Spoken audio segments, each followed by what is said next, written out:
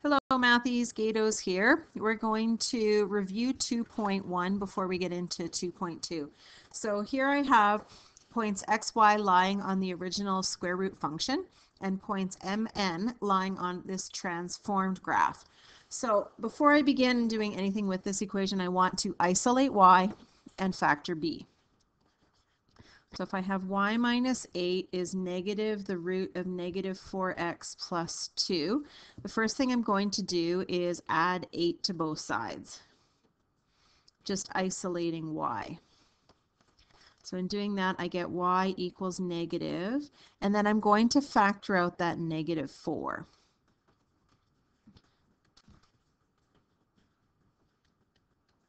So it would look like this. I always like to do a little check here. If I put in negative 4 back, I would get negative 4x, and negative 4 times negative a half, positive 2. So I know I've done that right. Okay, let's come up with the mapping notation. So remember on the outside, this is what I'm doing to y. On the inside, this is what I'm doing to x. So in terms of a mapping notation, I'm taking all of my x, y, and let's do the x first. So x is horizontal, and remember horizontal lies. So I have a horizontal reflection and then a horizontal stretch by a factor of a quarter. And then I'm moving it one half to the right because horizontal lies. So it's the opposite of what I would think. On the outside, that's my y values. So I have a vertical reflection and a vertical translation up 8 units. So really when it comes to it, this is my m value, this is my n value. So in the first one it says find m and n if xy is 4, 2. So 4, 2 becomes, now we're going to substitute it in. So negative a quarter multiplied by 4 plus a half and then 2 will be negative 2 plus 8. So negative a quarter of 4 is negative 1, and negative 1 plus a half is negative a half, and negative 2 plus 8 is 6. So m and n would be negative a half and positive 6. Okay, on this next one, I'm going to go backwards. I want to find xy if I'm given m and n. So this is m, this is n, and I'm going to use the formula I know for m and n. So for m, negative 25 is equal to negative a quarter x plus a half. So just to get rid of my fractions, I'm going to multiply the entire equation by 4. So I'll have negative 100 equals negative x plus 2. Subtract 2 from both sides and divide both sides by negative 1 and I get x is 102. I'll do the exact same thing for n. So n is negative 2.1 and that's the same as negative y plus 8. So I will subtract 8 from both sides and divide both sides by negative 1 and I get 10.1. So that means that x is 102 and y is 10.1.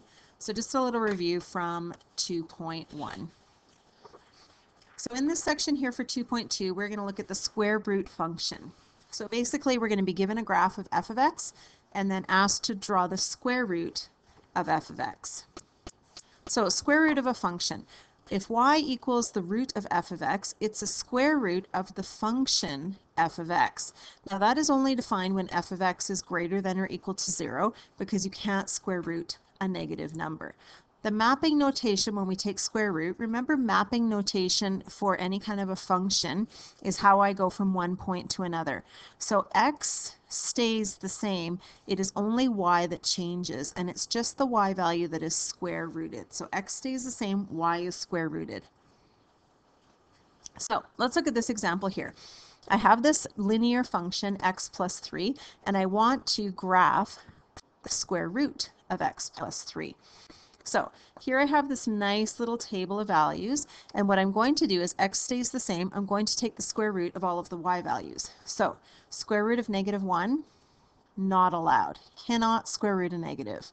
In fact, on my graph, I can note that anything in that area will not exist on the square root function since I can't square root a negative.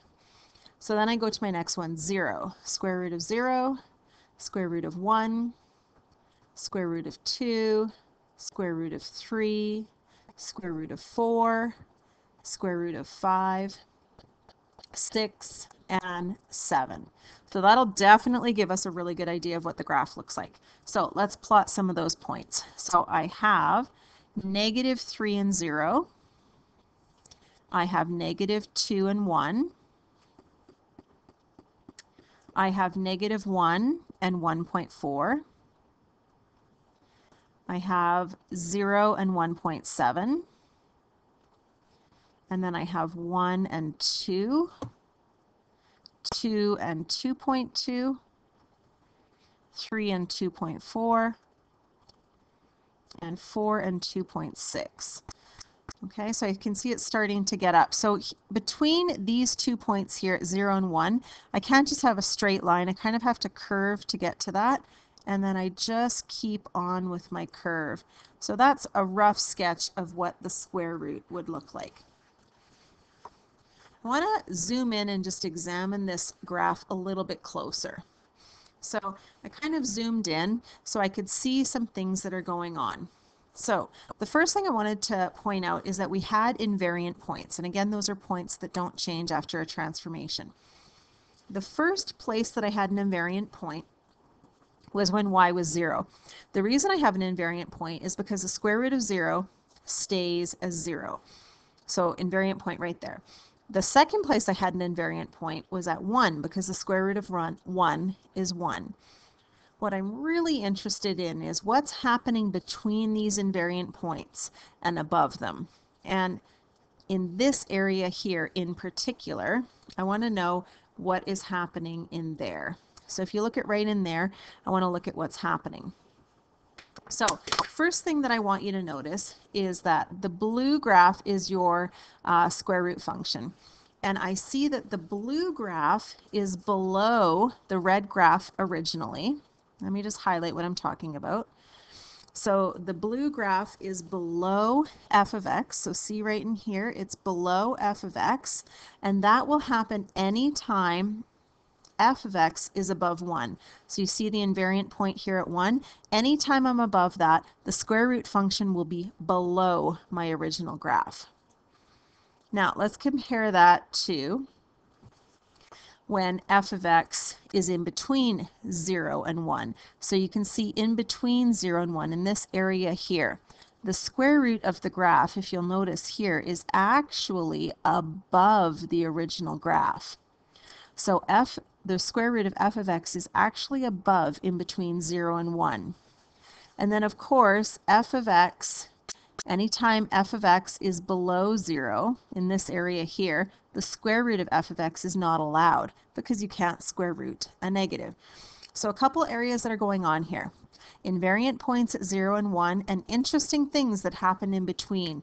So when it's in between 0 and 1, the square root is above. When it's beyond 1, the square root is below. Let's look at that in a little bit more detail. I want to know why is the square root of f of x below f of x when f of x is greater than 1? So what I want you to think of is think of any number greater than 1. So for example, I chose 4. So if you look at 4, the square root of 4, which is 2, is below the original number. So see the square root of 4, which is 2, is below 4. So anytime your function, your original function is greater than 1, the square root will be below. Now let's look at why it's above when it's between 0 and 1. So think of any number between 0 and 1. I chose 0.5.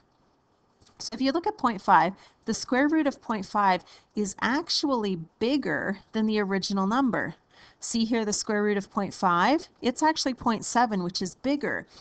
So what that tells me is anytime my function is in between 0 and 1, f of x will actually be above. It'll curve above. So I came up with a um, kind of a way for you guys to help you remember that. So if you look at your graph and you draw a line at your invariant points of 0 and 1, so an invariant point at 0 and an invariant point at 1, it splits the graph into three sections splits it into three sections, one, two, and three. So if we remember the acronym BAN, this will help us. BAN, B stands for below. So you can see the graph of the square root is below the original graph.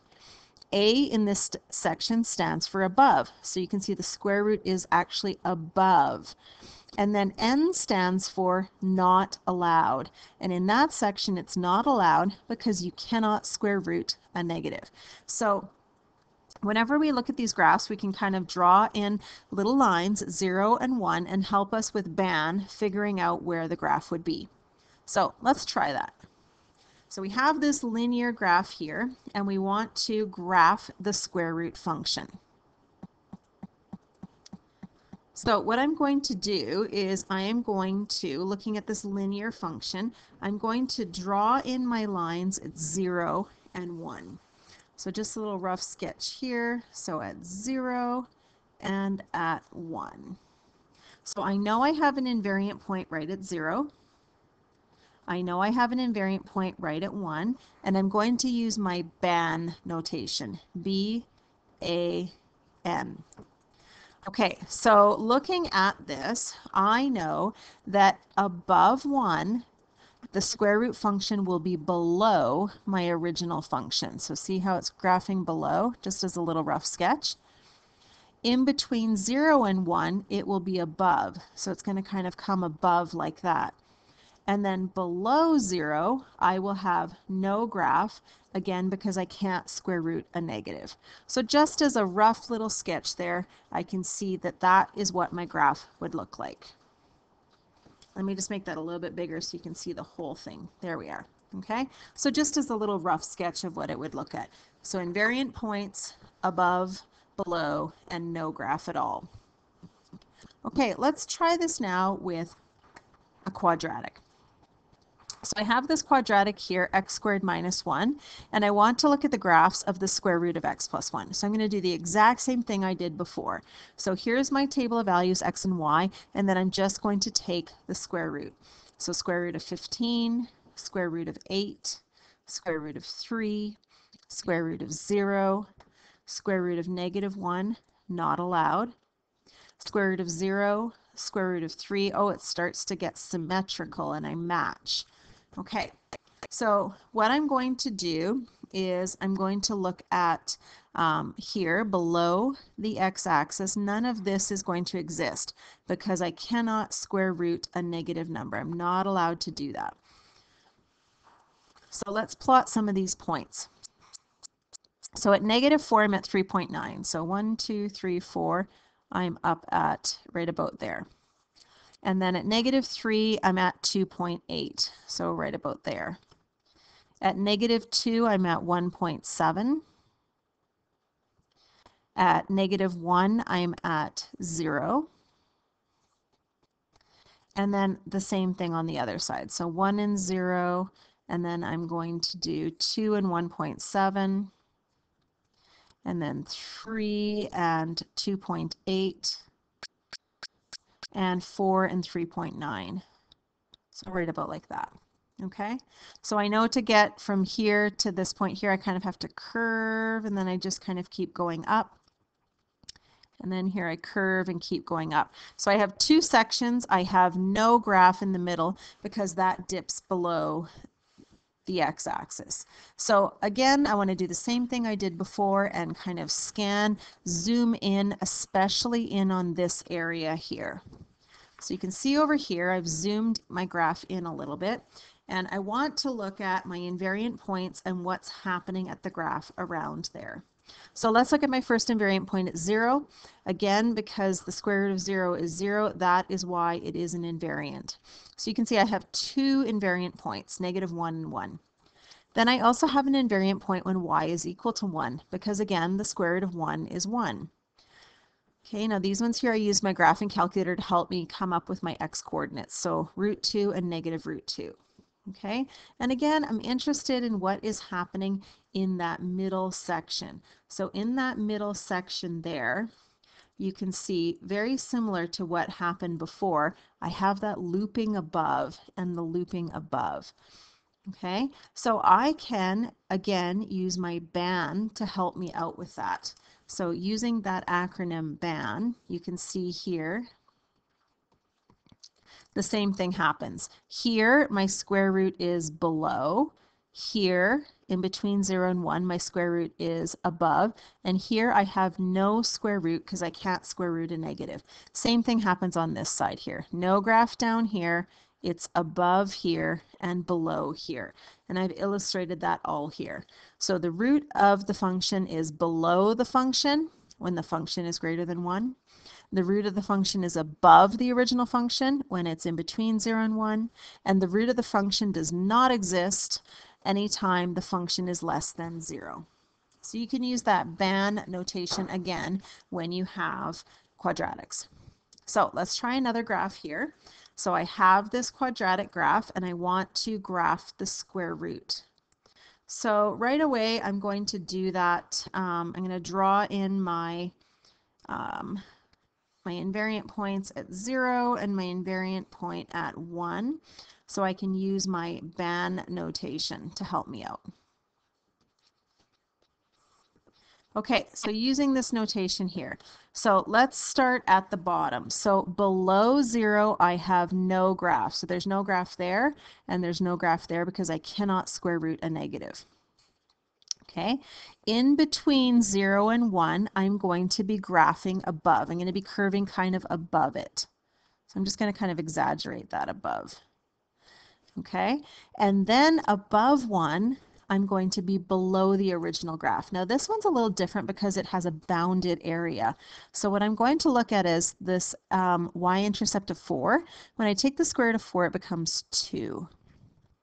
And then I can even look at 3. The square root of 3 is about 1.7, so that'll be right there and right about there. So this is a really wonky graph here, the way that I'm drawing it, because I'm really exaggerating that part, but it's going to look something like that. Okay, that would be what the square root function looks like.